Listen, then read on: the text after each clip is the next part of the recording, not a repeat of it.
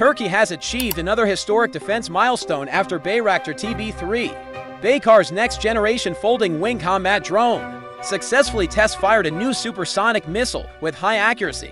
This success not only underscores the rapid progress of the domestic defense industry, but also strengthens Turkey's position at the forefront of global military technological innovation.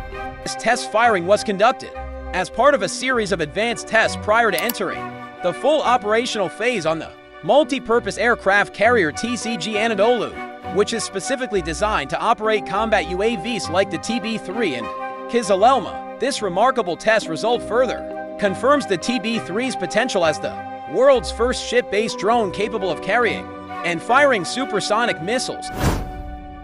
The Bayraktar TB-3 is a development of the highly successful TB-2, but with significant improvements in payload, range, control systems, and the ability to operate from short runways such as aircraft carriers. With its folding wings, the drone can be stored more efficiently in ship hangars and launched in greater numbers.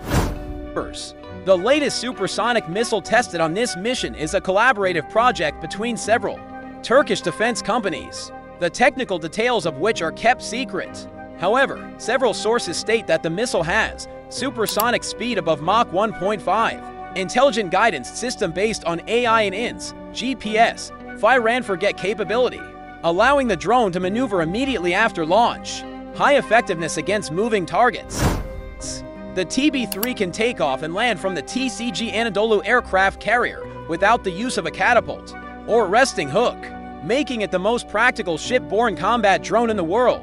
The folding wing design allows for space savings and the deployment of more drones on aircraft carriers.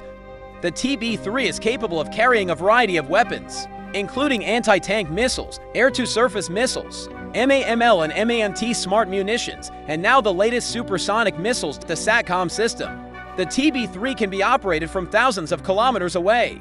Without losing control, flight durations exceed 24 hours, enabling extended reconnaissance and attack missions. With this combination of features, the TB-3 is a pioneer in the category of fully combat-ready.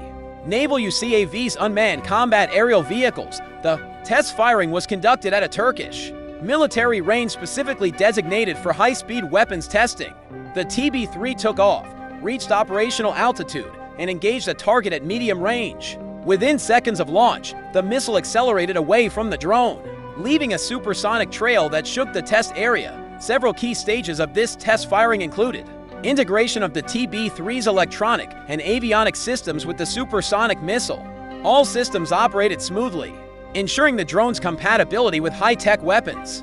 The missile successfully engaged and maintained focus on both static and fast-moving targets. Even when the target engaged in evasive maneuvers, this included electromagnetic interference, extreme weather, and wind conditions. The missile hit the target center point, demonstrating the perfect performance of the guidance system. This result demonstrates that the TB-3 is not only a high-range drone, but also a precision strike platform capable of delivering advanced weaponry.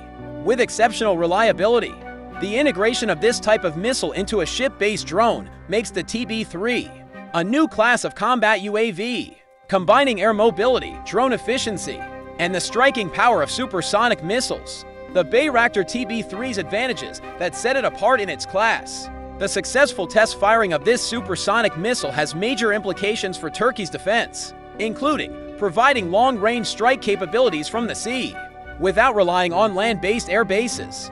Turkey is strengthening its position as a country revolutionizing the use of drones. In modern warfare, the integration of a domestically developed supersonic missile marks a further step toward full autonomy in the production of strategic weapon systems. The TB-3 has already garnered interest from many countries, and this success further enhances its appeal in the global market. Towards the era of supersonic naval drone warfare, this test firing indirectly paves the way for a new era in modern warfare, the era of ship-borne combat drones equipped with supersonic weapons. These advantages enable missions such as long-range strikes from the sea, anti-ship operations, countermeasures against strategic targets on land, and rapid strike missions against mobile threats. The TB-3 is not merely a reconnaissance drone or light weapons carrier, but an evolution towards a complete combat platform capable of carrying both supersonic and next generation miniaturized hypersonic weapons. This success has attracted the attention of international defense analysts and observers. Many believe that Turkey is creating a new paradigm in the integration of drones and aircraft carriers, with significantly lower operational costs than conventional fighter jets.